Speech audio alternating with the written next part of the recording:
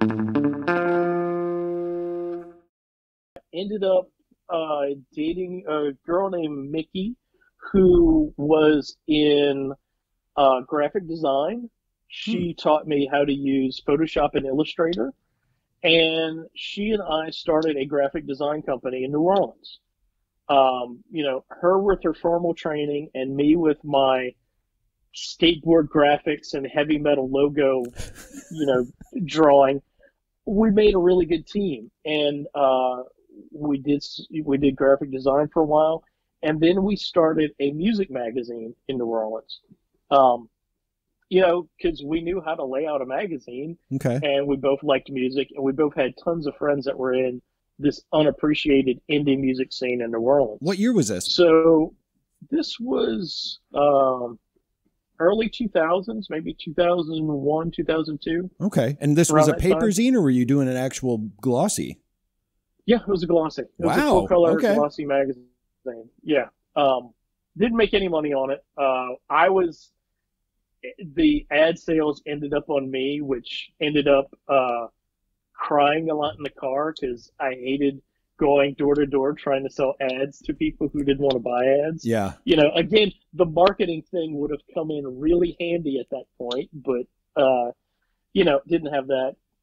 Um, around that time, I also started doing flyers and posters for bands. So doing gig posters and, you know, getting into silk screen stuff.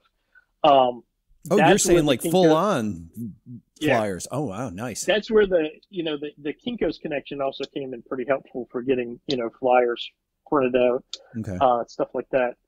Uh, Katrina hit, and you know threw everybody in that area for a loop. Um, you know, our house in New Orleans had seven feet of water in it, um, and I think it's probably clear I don't take rejection well, and I considered that a rejection. Really? Uh, you took it I go personally. Took it personally. Uh, that's yeah. Katrina did that personally. Um, I didn't go back to New Orleans for about a year and a half. Um, I, I would go back to see my parents, but I wouldn't set foot in New Orleans for the longest time.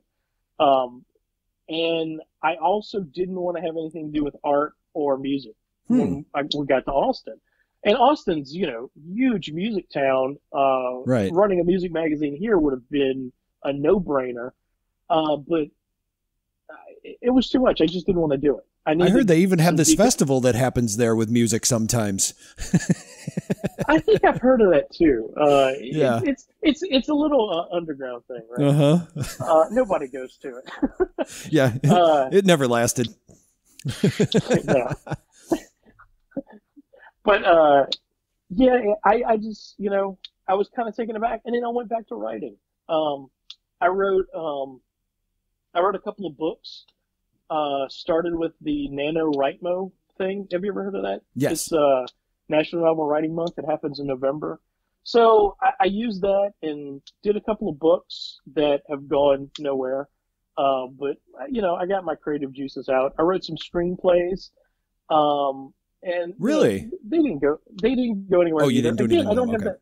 I don't have that marketing thing. I don't have that. Uh, that being able to sell yourself. Uh, and clearly, I know I don't like rejection. So Mm-hmm. uh, trying to put myself out there is just. It, it's a rough thing to, to Well, for me to think about doing. To be clear, nobody really likes rejection. So just, you know, There's some people that do. uh, I suppose. Have you been on Reddit?